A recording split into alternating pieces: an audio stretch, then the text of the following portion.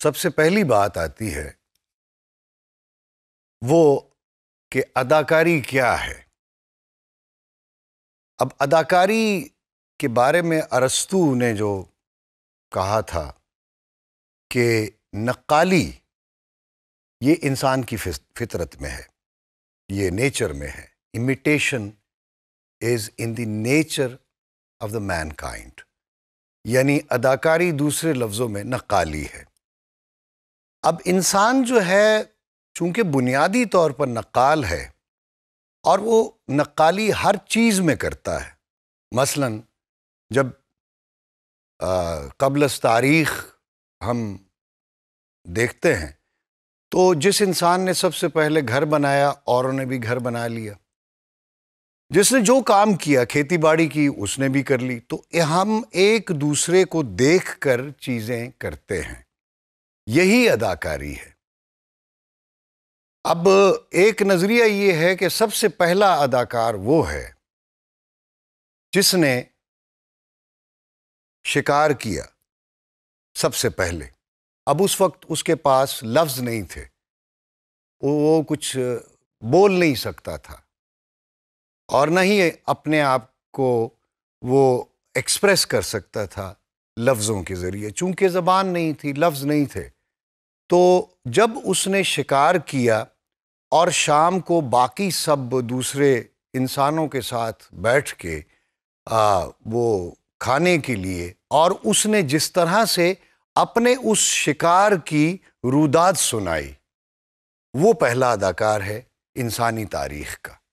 यानी उसने ये बताया कि मैं कैसे जंगल में गया मैंने कैसे आ, मारा जानवर को उस वक्त पत्थर से या लकड़ी से या जिस चीज़ से भी और कैसे वो मेरे पे हमलावर हुआ या जो जो उसने अपने शिकार की कहानी सुनाई वो आप समझ लें कि इंसानियत में या इंसानों में सबसे पहला अदाकार हम उसको कह सकते हैं। उसके बाद जो आ, अदाकारी की अगर हम रिटर्न हिस्ट्री की बात करते हैं तो हमें ये पता चलता है कि कोई तीन या चार हज़ार कबल मसीह जब तहज़ीब शुरू हुई, इंसानी तहज़ीब शुरू हुई, उसका आगाज़ हुआ तो उसमें जो शुरू के लोग थे, उन्होंने ज़ाहिर है कि अपने कुछ नज़रियात, कोई मजहबी नज़रियात भी कायम कर लिए। मजहबी नज़रियात उन, उस ज़माने में ज़्यादातर ये थे कि जो हुक्मरान थे या बादशाह थे। मसलन तहज़ीब शुरू होती है आ, मिस्र में इजिप्ट जिसको कहते हैं या मेसोपोटेमिया में। ये पैरेलल सिविलाइजेशंस या तहजीबें हैं। मेसोपोटेमिया जिसको दजला और फरात की तहजीब भी कहते हैं। मेसोपोटेमिया बेसिकली इसके मायनी हैं दो दरियाओं के दरमियान की ज़मीन। तो इसको मेसोपोटेमिया कहते हैं। इसकी मसन बाबुल और नैनवा ये शहर भी आ, कहते हैं बेबीलोन जिसको कहते हैं। तो यहाँ पे इंसान ने जब बादशाहों ने जो हुक्मरान थे ताकतवर थे वो ताकतवर आ, जब हुक्मरान बने तो उन्होंने उन, उन्होंने अपने आप को नवजुबिल्ला मंजालिक उस वक्त आ, ये एक खुदा का तस्वुर दिया। या देवता का तस्वुर दिया दे, देवियों का और देवताओं का तस्वुर दिया। तो जो उस ज़माने के जो उनके दरबारी थे उनमें कुछ लोग ऐसे थे कि वो उन्होंने उनके आबा अजदाद की कहानियाँ बनाई कि जनाब इसका बाप या दादा जो है वो नहजुबिल्ला एक महा खुदा था फिर ये उसके बच्चे या देवता था बहुत बड़ा। फिर उसके साथ एक देवी थी बहुत बड़ी, और फिर उसकी औलाद हुई। तो ये जो, इस वक्त जो फ़िरौन है मसलन, ज़ाहिर फ़राना मिस्र का ज़माना था वो तो ये फ़िरौन जो है, ये भी देवता है तो उसकी बाकायदा वो पूजा करवाते थे। तो वो जो बयान करते थे, उनकी किस्से कहानियाँ जो वो बयान करते थे, उनको, या मेसोपटेमिया में मसलन वहाँ पे भी इसी तरह जो मजहबी पेशवा बन गए बाद में, जिनको राहिब कहते हैं और प्रीचर्स कहते हैं या प्रीस्ट कहते हैं, इन्होंने ये किस्से कहानियाँ जो घड़ी और उनको जिस तरह से बयान किया, बाद में वो मजहबी पेशवा बन गए। तो ये जो मजहबी पेशवा थे, इनको कहते हैं बुनियादी तौर पर इमेचर एक्टर्स शुरू के इब्तदा के ये इमेचर एक्टर्स थे। वहाँ पे इजिप्ट में या मिस्र में चूँकि देवी देवताओं का तस्वुर था और ये मजहबी पेशवा जो जो ये इमेचर एक्टर्स थे, इनको बड़ी इज़्ज़त और एहतराम से देखा जाता था। अच्छा दूसरी तरफ़ अगर हम मैसोपोटेमिया में आएँ तो यहाँ पे बनी इसराइल थे। अब बनी इसराइल में चूँकि अम्बिया सारे आए हैं तो वहाँ पे देवी देवताओं का तस्वुर जो है, वो तकरीबन ख़त्म हो गया था और एक खुदा वाहिद जो है उसका अम्बिया ने तस्वुर दिया। और ये आप समझ लें पाँच छः हज़ार साल पहले की बात है। तो बात कहानी की है किस्सा गोई की। मसलन ये जितने भी इमेचर एक्टर्स या ये मजहबी पेशवा थे ये किस्सा गो थे या स्टोरी टेलर्स जिसको हम कहते हैं जिनको।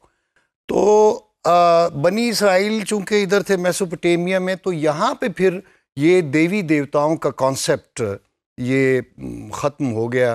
तो पहली कहानी जो इंसानी तारीख में लिखी गई, जो हमें रिटर्न हिस्ट्री में मिलती है, वो है एपिक ऑफ़ गिलगामिश गिलगामिश बनी इसराइल का एक पहलवान था, यानी देवी देवताओं से हट के इंसान ने फिर इंसानों के बारे में कहानी लिखनी शुरू की। तो उस कहानी को जो बयान करते थे गिलगामिश की कहानी गिलगामिश एक पहलवान था बनी इसराइल में तो ही मैन का एक कॉन्सेप्ट आ गया। तो उस ही मैन को जो बयान करते थे किस्सा गो आ, वो इमेचर एक्टर्स ही थे। अब वहाँ से निकल के जब हम आते हैं यूनानी तहजीब में जिसको ग्रीक सिविलाइजेशन कहते हैं तो ग्रीक सिविलाइजेशन में आ, जो कहानियाँ लिखी गई या नज़में दो लिखी गई कहानियों की शक्ल में वो होमर ने लिखी। होमर एक अंधा शायर था जिसने इलियड और ओडिसी लिखी। अब ओडिसी जो है ओडिसियस एक देवता था। इसी तरह मतलब यूनान में उस वक्त देवी देवताओं का जिस तरह उनका था गॉड्स एंड गॉडेसेस पे, जैसे ज्यूस था हैक्टर हेलन ये सारे उनकी फिर ये किरदार जो है, उन्होंने वो लिखे, जो ग्रीक ट्रेजडीज बाद में कहलाई। लेकिन सबसे पहले होमर ने इलियड और ओडिसी लिखी। अब इस ओडिसी को जो बंदा बयान करता था, किस्सा गो होता था, उसको इमेचर एक्टर्स वो थे। अच्छा इसमें आ, कुछ लोग बल्कि शुरू में गा के ये वो ये कहानी सुनाते थे बल्कि कहानियाँ सुनाते थे। तो पहला बंदा जो इंसानी तारीख का पहला एक्टर है बाकायदा जिसने तहतुल लफ्ज़ में और कुछ गा कर जिसने परफॉर्म किया मुमकिन है उसने इलियड ओडिसी से शुरू किया हो लेकिन बाद में उसने आ, अपने ड्रामे भी लिखे या अपनी नज़में या ड्रामों की एक फॉर्म और वन मैन परफॉर्मेंस होती थी। एक बंदा आ, उन किरदारों को और उस बंदे का नाम है थैस्पस ये मैं फिर रिपीट करता हूँ कि Thespis is the first actor in the history of mankind जिसको हम कहते हैं प्रोफेशनल एक्टर था। तो उसने वो एथेंस के पास गाँव का एक आदमी था। तो गाँव के लोग उमूमन जो है मतलब जो अर्बन सोसाइटी होती है, शहरी ज़िंदगी में इतने किस्से कहानियाँ नहीं होती, क्योंकि वहाँ पे ज़्यादा ज़िंदगी की गहमा गहमी होती है। तो उमूमन जो किस्से कहानियाँ हैं, ये रूरल एरियाज़ में, जिसको हम देहाती इलाके कहते हैं, वहाँ पे ये जन्म लेते हैं। तो थेस्पस भी एक देहात का था, और वो गाता भी था। शायर भी था, और ड्रामा निगार भी था, और एक्टर भी था। तो उसने थेस्पस ने एथेंस में आके फिर बाकायदा एक्टिंग शुरू की। और ख़ुद ही वो लिखता था, खुद ही वो परफॉर्म करता था, तमाम किरदारों को वो खुद परफॉर्म करता था अकेले ही। एक उस ज़माने में आप पता नहीं, एल्पस शायद कोई पहाड़ी थी या चबूतरा था उस पर खड़े होके तो वो परफॉर्म करता था।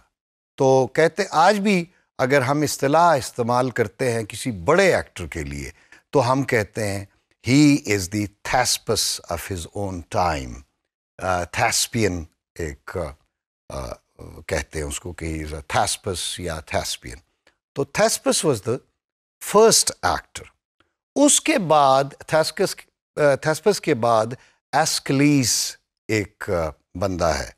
एस्कलीस भी शायर था ड्रामा निगार भी था एक्टर भी था।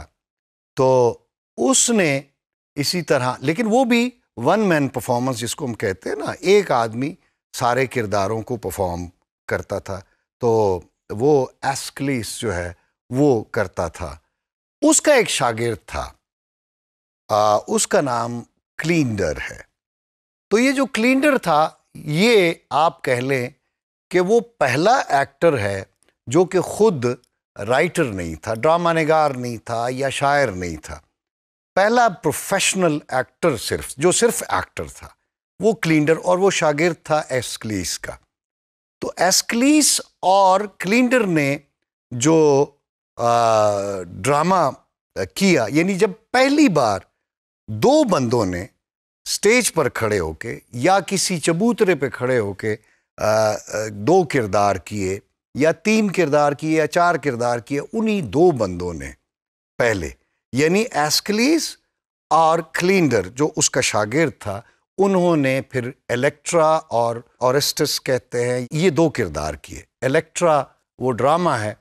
आप इसको कह लें कि पहले एक, पहला एक बाकायदा ड्रामा इलेक्ट्रा है और इलेक्ट्रा एंड ओरेस्टस तो उसमें इलेक्ट्रा जो है वो औरत का किरदार है ओरेस्टस मर्द का है।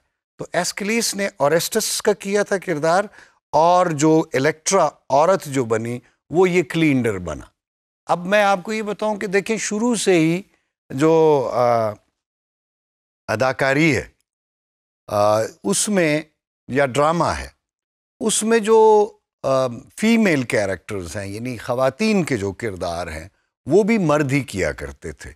और ये सिलसिला अगर आप देखा जाए तो आ, इंडिया तक आता है और कोई सौ साल पहले तक ख़वातीन जो हैं वो एक्ट्रेसेस नहीं थी या वो एक्टिंग नहीं करती थी। तो मोस्टली जो किरदार हैं वो मर्द ही करते थे। तो उस ये एस्कलीस के बाद फिर आता है सफोक्लियस, फिर यूरिपिडीज है, और फिर आप सुकरात कह लें, सोक्रेटिस कह लें, प्लेटो है, प्लेटो के बाद फिर अरस्टोटल है, अरस्तु है, अफलातून, इन्होंने भी फिर ड्रामे लिखे, और बहुत सारे और लोगों ने जो ग्रीक ट्रेजडीज़ के नाम से, यानी यूनानी अलमिया ड्रामे के नाम से वो मशहूर है।